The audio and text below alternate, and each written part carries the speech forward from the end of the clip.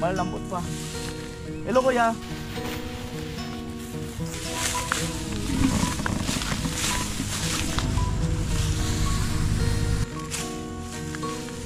Iyan ko po kayo. Salamat sir. Thank you, sir. Salamat, sir. Birthday ko pa naman ngayon. Ah, birthday mo ngayon?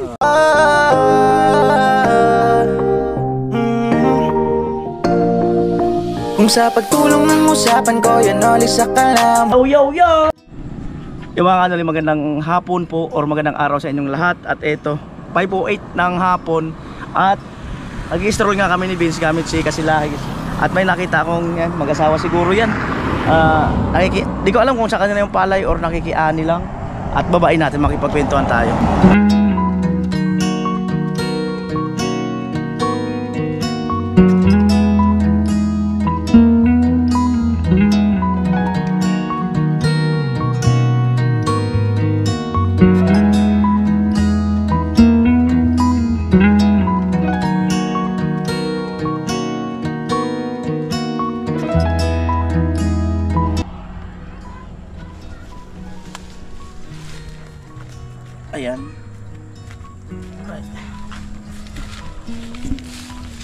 palay Ganda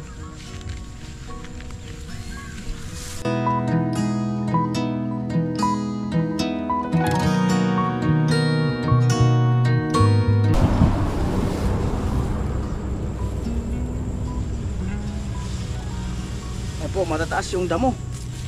Pero okay lang, dati rin naman ako nakikiani.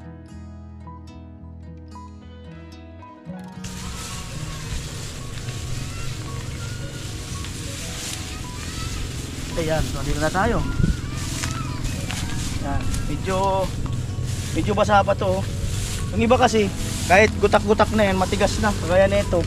Ano, ibig sabihin ng gutak, yung biyak-biyak na. Pero ito yung gutak na malalambot pa. Hello kuya, magandang araw sa inyo. Pwede ba bang ano, makipagkwentuhan? okay lang bang Tagalog? Oo. pero taga, taga dyan lang naman ako sa San Roque.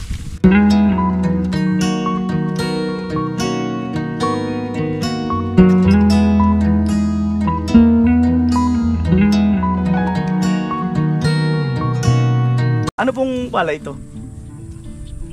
Anong anong anong klaseng palay? Hindi, hindi ko to alam sir. Hindi nyo alam, nakiani lang kayo.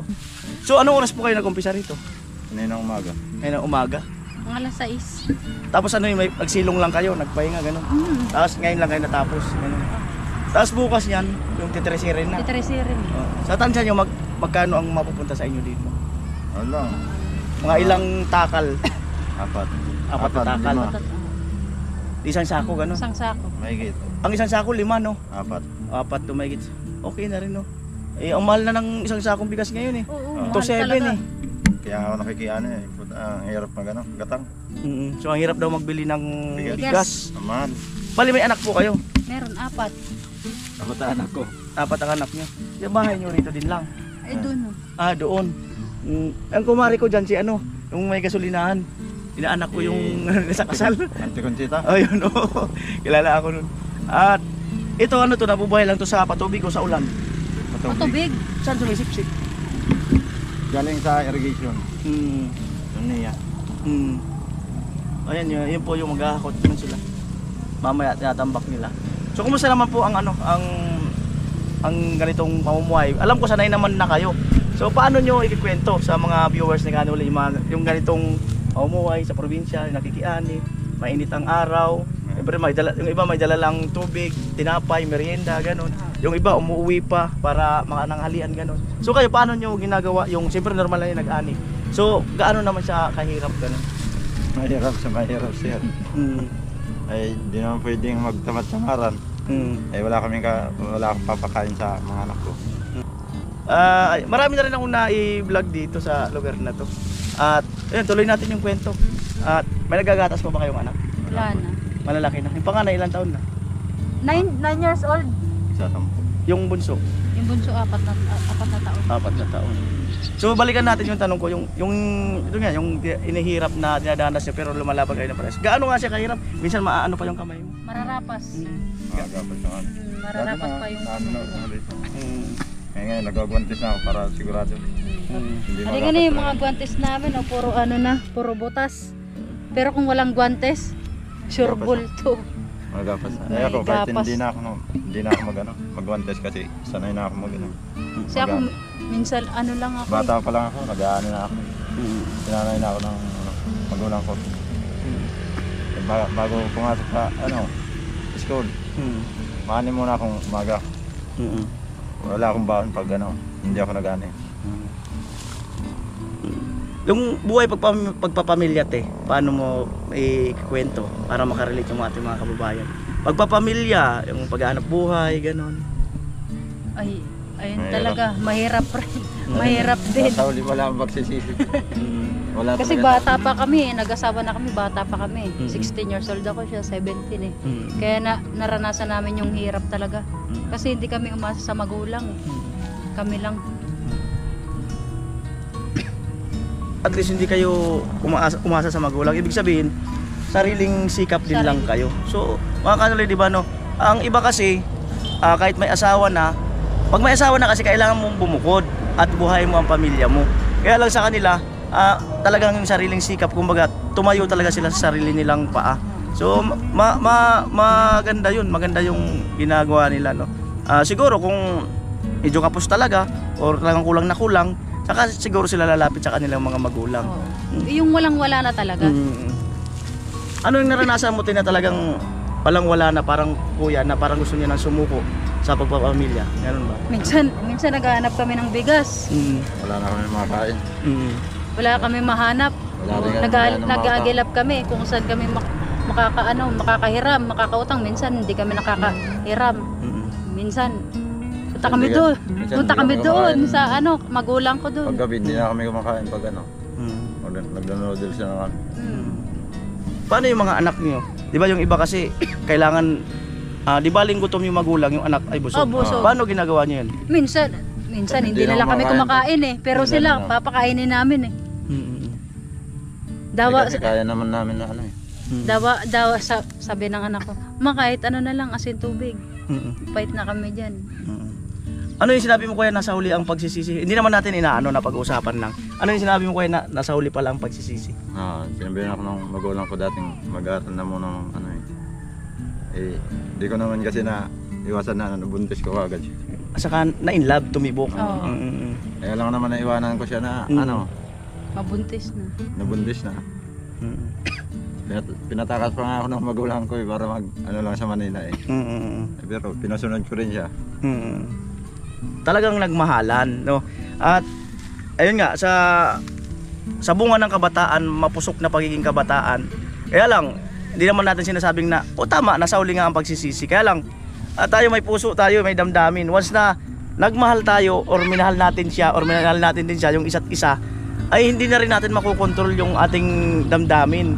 Kasi minsan pag Halimbawa si ate o si kuya napalayo, hahanapin din nung isa. Hahanapin din niya. Kasi kumbaga talagang nagkapalagay na sila ng loob or mahal na. Nasanay na. nasanay na. Hindi lang ibig sabihin na nabuntis, ganun. Kasama na yung daon na nabuntis. At maski naman yung iba kahit hindi buntis talagang sinusundan ng babae o ng lalaki dahil nga sa napamahal na sila at ayaw na niyang mapunta sa iba. Ganun ba kuya? Mm. Pero may nanligaw din sa kanya noon na iba. Oo. Ay, meron. Mm. Kaya lang mas mabilis si kuya. Ah. Paano mo binilisan nung may mga karibal ka? Anong ginawa mong teknik? teknik ba? Teknik? Diskarte? Wala, na, natatakot minsan sa kanya kasi inaano ko eh. Uh, Kung uh, sinasapa ko pag mag-ano pa sa kanya, kita may... Hinasapak mo? Ah. Pambira, sinusuntok niya raw pag, pag may lumiligaw. Matindi si kuya. Ayan, at so masarap ang kwentuhan natin, kakaibang topic ang ating napag-uusapan. Ah, ano may advice nyo doon sa mga kabataan na feeling nila ay kaya na nilang sarili nila. Kaya na nilang mag-asawa, kaya nilang buhayin kung magpapamilya sila. Anong may advice mo depende sa naranasan mo po? Para sa akin kuya, mag-aaral na muna. Yung pwede i-crush-crush lang, hindi yung mag ano ka agad na mag, ano ka agad pamilya. Mm. Mag-aral muna sila. Mm. Ang naranasan hirap talaga. Mm.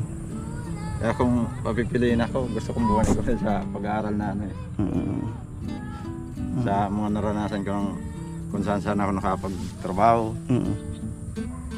Ang feeling nila, kaya na nila ang buhay nila or nagiging suwail na sa magulang dahil ang akala nila, alam na nila yung mangyayari bukas. Ano ang Ako, ako, kasi na ano ko yan eh, dapat yung sa magulang ninyo, ayun yung anuhin ninyo. Dapat, ano yun yung magulang ninyo na kunwari, di ba sinasabihan kayo, sundin na lang ninyo para hindi kayo umano sa tam, sa ano maling landas? oo maling landas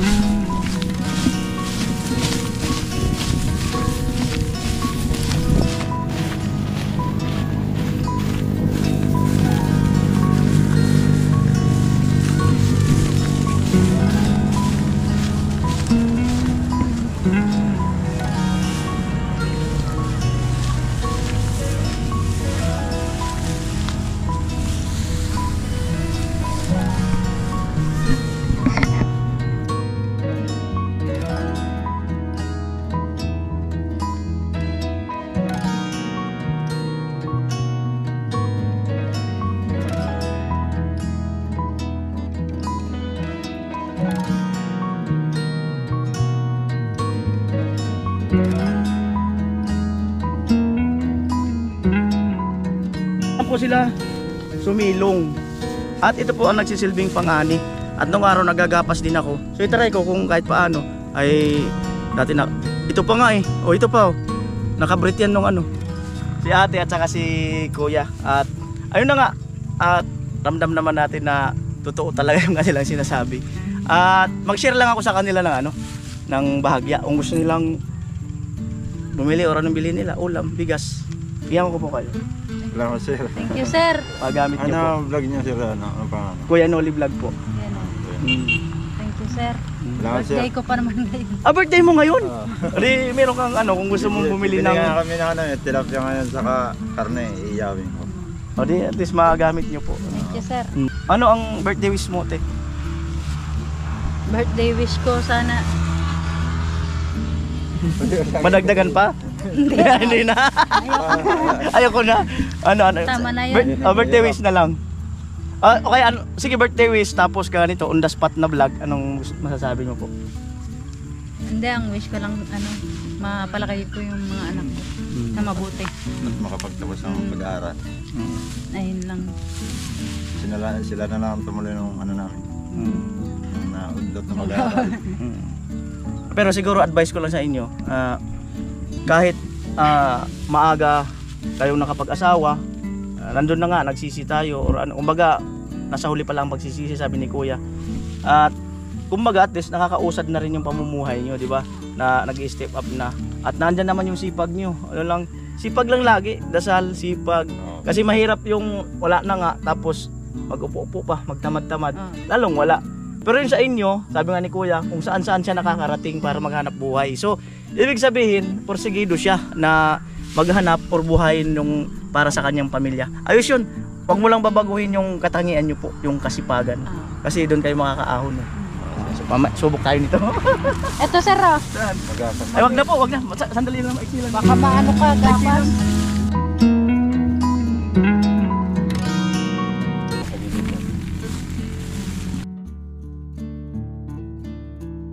So, testing po ako.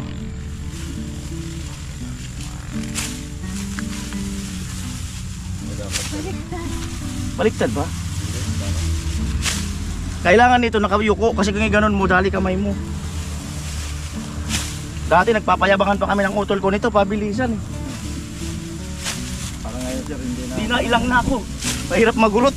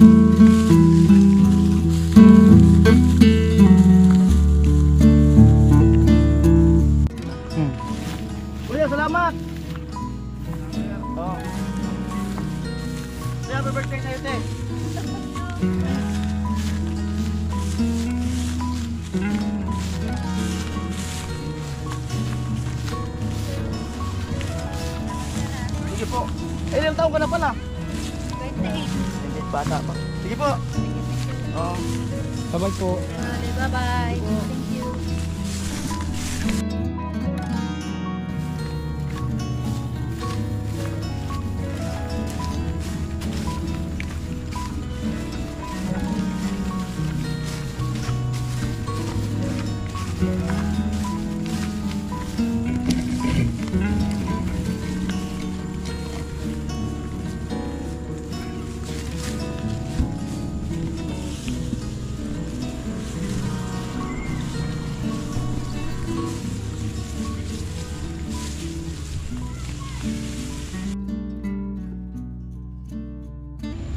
Ayan mga kanoli at hanggang dito lang po ang vlog na ito at alam ko po marami tayong kababayan na nakaka-relate sa kanilang pamumuhay no.